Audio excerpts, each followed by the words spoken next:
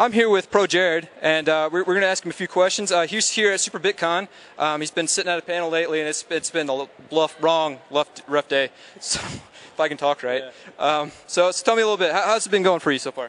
Uh, really good. I'm I'm exhausted because I drove up here and got here like at 1:30 last night. God.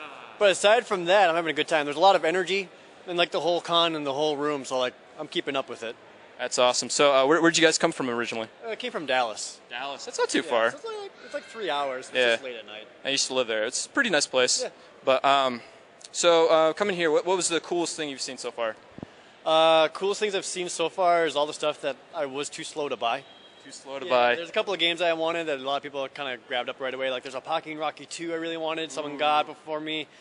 Uh, saw a really good deal on uh, Metal Storm that someone got before me.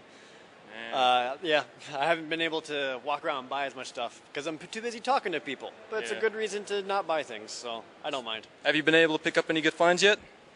Uh, I've got a lot like kind of on reserve, where it's like yeah. I may have to stop back for that. Yeah. It's a lot of box stuff. I'm big on Super Nintendo, Ooh, so I'm yeah. trying. I'm trying to get like a nice, complete Super Nintendo collection. So I'm going for a lot of Super Nintendo boxes and instruction manuals.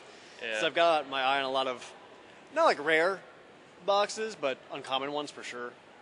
So, uh, last question before we let you off today. Um, do you have any like secret tips or um, different things you can be doing for your channel pretty soon? Any new secret po- projects or anything you want to give a shout out to? Uh, secret projects. Um, I mean, I've been kind of teasing for a while, but I'm I am planning a new retrospective series, probably on Monster Hunter. Nice. Like a whole retrospective retrospective on Monster Hunter is what one I really want to do.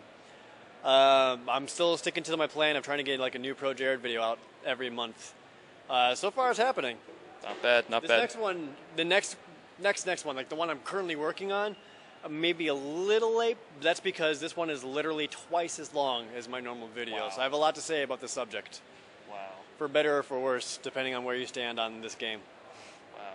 Well, that wraps it up here. If you have a time, come and check this guy out. He's a great guy.